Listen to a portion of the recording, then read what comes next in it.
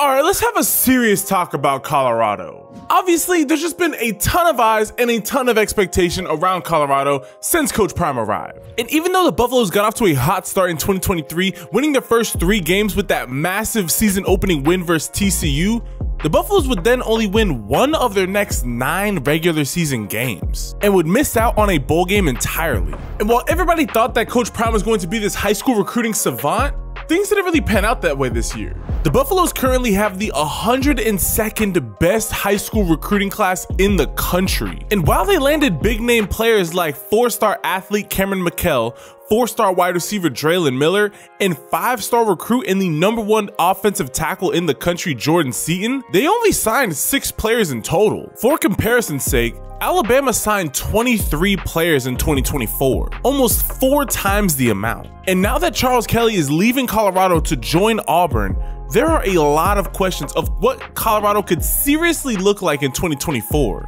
I'm gonna be frank with y'all. The Buffaloes are in a weird position because it's almost a damned if I do, damned if I don't position where they won four times the amount of games that they did last year.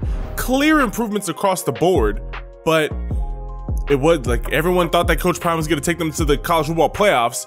But then, if they do live up to that, everyone's just gonna say it was lucky. Well, I think when you take an objective look at what the Buffaloes did in 2023, you'll start to see a different picture than what their 4 and 8 record painted. First off, in 2023, half of the Buffalo's opponents were ranked. And in four of those games versus ranked opponents, the Buffaloes only lost by one possession. As a matter of fact, six of the Buffalo's eight losses were by one possession or less. Now, obviously, this next part's gonna be a big stretch, but if you're only losing by one possession or less in half of your losses and more than half of your losses, that means that Colorado could have theoretically went 10 and 2 this season. 10 and 2.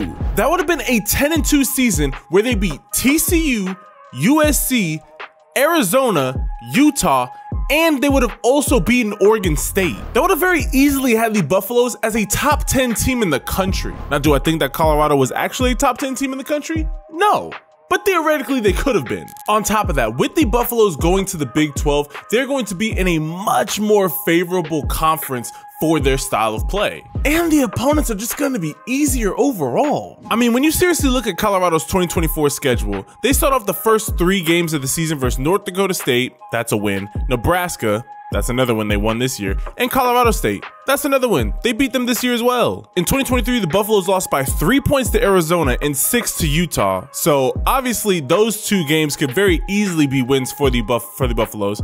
Then going into, going over to Baylor, which it's going to be a home game for them. That could be a very easy another win. Baylor has not been the same team that we've expected them to be. Oklahoma State, obviously, that's going to be a loss. They're, they were in the Big 12 championship game. That's that's going to be a loss. Kansas State, I'm also going to write that off as a loss. Kansas State is a much improved team from these past couple of seasons that we have seen them at. Cincinnati, that's a win, especially at home. Kansas, that's a toss-up game, especially with that game being at Kansas. It's going to be a little bit tougher, tougher of a pull. Texas Tech and UCF are going to be interesting because those could very easily be wins to win out a season where Colorado is well into the top 15 of the of the college football rankings or though they could be struggling and those two games could end off the season for the Buffaloes on a two-game losing streak. In my objective opinion, I have the Buffaloes going 8 and 4 next season with wins versus North Dakota State, Nebraska, Colorado State, Arizona, Baylor, Cincinnati, Texas Tech, and UCF. Their only losses would come at home to Utah, at home to Oklahoma State, at home to Kansas State, and away at Kansas. Now, I don't know if you just picked up what I was saying there. Three fourths of the games that I have Colorado projected to lose are at home. We all know how big at home advantage is in college football. Those could very easily be upset games where Colorado goes even higher. For me, anything under a six in six season for the Buffaloes next year is going to be a disappointment. I'm, I have the Buffaloes at an eight and four season, especially with all the improvements that they made this offseason. I see the Buffaloes being a much improved team heading into next year. Like, I know I said the Buffaloes only had the 102nd best high school recruiting class, but bringing in the number one offensive lineman in the country in Jordan Seaton is a immediate plug and play candidate. You got guys like Dre'lon Miller and Cameron McKell who are going to make immediate impacts. Brandon Davis Swain should add a lot of depth to that defensive line. And then Coach Prime also has the second best transfer portal class in the country. He just landed linebacker from Florida State, DJ Lundy. He's also brought in guys like Pitt defensive lineman Samuel Okunlola, Houston offense defensive lineman Chidozie and Nwankwo, Alabama defensive lineman Anquan Barnes. He also brought in the four-star transfer prospect Cordale Russell at wide receiver from TCU, defensive lineman from LSU Quency Wiggins, safety from Liberty Preston Hodge. I mean, the list goes on. Will Sheppard from Vanderbilt, Ch- uh, Chaman Medier from from Cincinnati. I, like, come on, literally, Colorado cannot miss. They brought in so much talent through the transfer portal. They brought in not a lot, but quality pieces through the high school recruiting portal.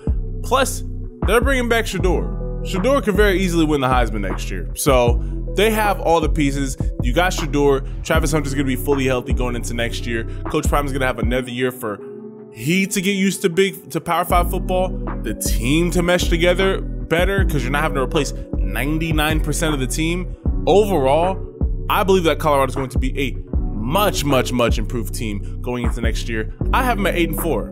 I want you guys to comment down below what are your guys' thoughts on the Buffaloes schedule heading into next season. I want to hear your guys' thoughts. Leave this video a like and hit that subscribe button and turn your notifications so you never miss any of the fire videos that we drop on the channel. I love and appreciate each and every single last one of y'all. And I will catch you guys in the next video. Ciao.